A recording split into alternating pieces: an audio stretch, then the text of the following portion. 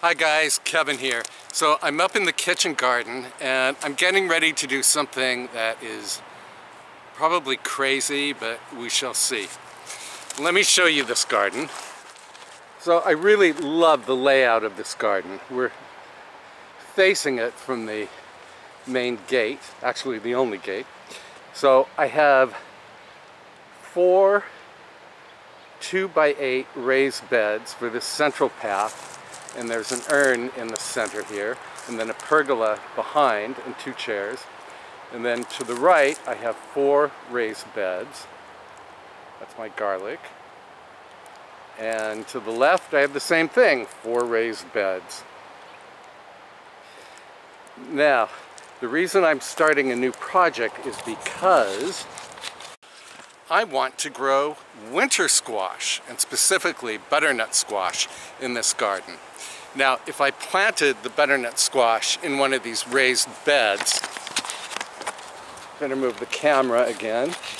Yeah, if I planted, let's say, butternut squash in this 4 by 8 raised bed, well, butternut squash has a spread of at least 4 feet, and it can trail a good 16 feet, so it means I would have vines coming all the way over here. And all winter squash just keeps growing and growing. It's an indeterminate type of plant. So I figured the way to grow the butternut squash would be vertically. And in order to grow it vertically, I needed some special kind of trellising. And I found it at Tractor Supply. It's called cattle panel and I bought two cattle panels and they were $23.95 each. They are four feet wide by 16 feet long. I just had them leaning against these beautiful Thuja Green Giant right now.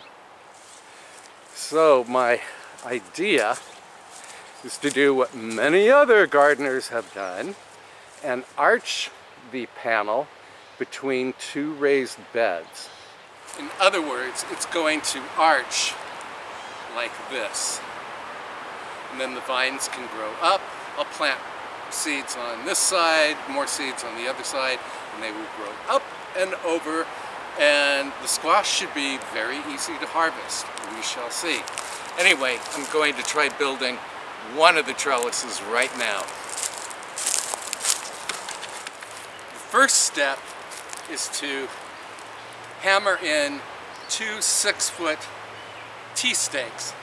And I probably didn't need six foot T-stakes. Probably five feet would have sufficed. Anyway, hammer them in. A step ladder helps. Okay, my posts are in. That hammering job took about 15 minutes because my native soil is very rocky, and that's exactly why I built raised beds for my vegetables. Raised beds can hold good soil with no rocks. Here comes the next step, installing the cattle panel. Wish me luck. By the way, this panel is heavy galvanized wire. Okay, this is really a two-man job, probably. We'll see. It's a little unwieldy, I'd say.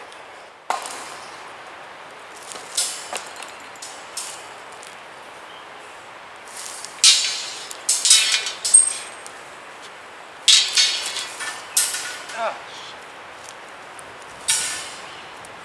Bad it can't just go this way.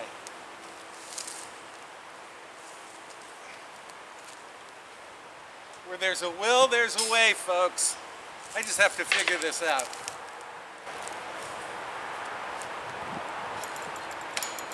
Gotta lift really high.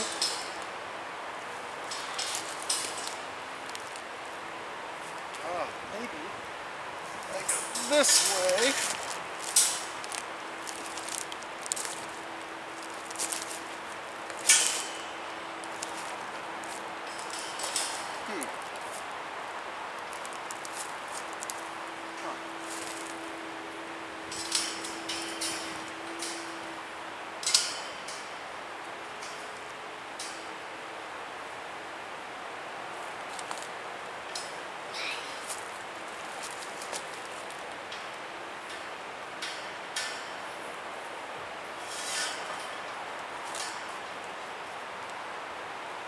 Okay, well you have the idea, right? Makes a cool arch, but it's in the wrong place. Try to move it here.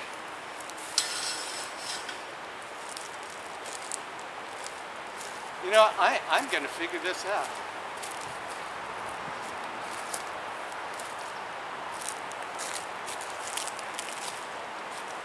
This cattle panel is not going to get the best of me.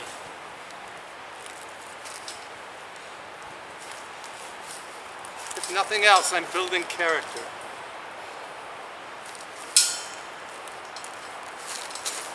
Get over there. Ah. No, don't come out. yeah, it's definitely a two-man job. Or two-person job, anyway.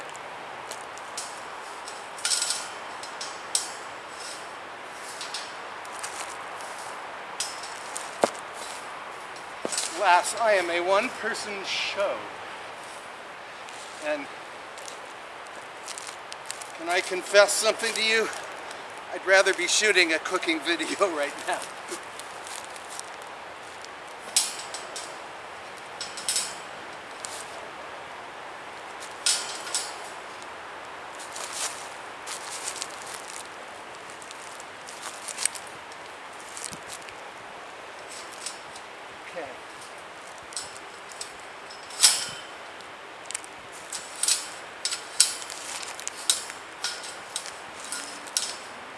Okay, I am getting it.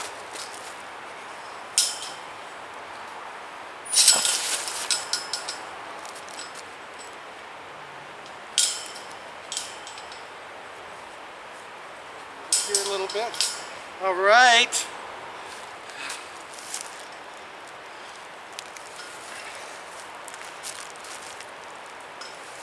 I can almost sense success. This way. Ha ha ha!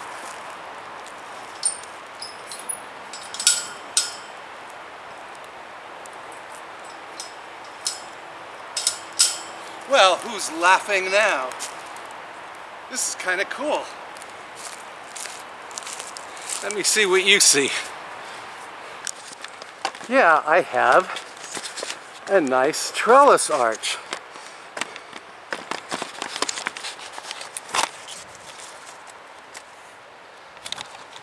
We'll look from this direction.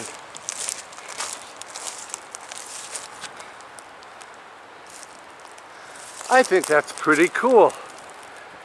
And of course, I will have to attach zip ties down here to connect the uh, panel to the T-stakes.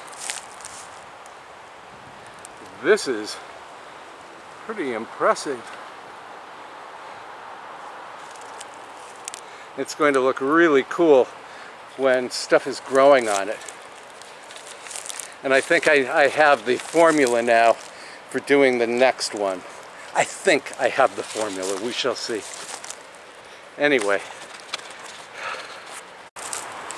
Yeah, so this creates a tunnel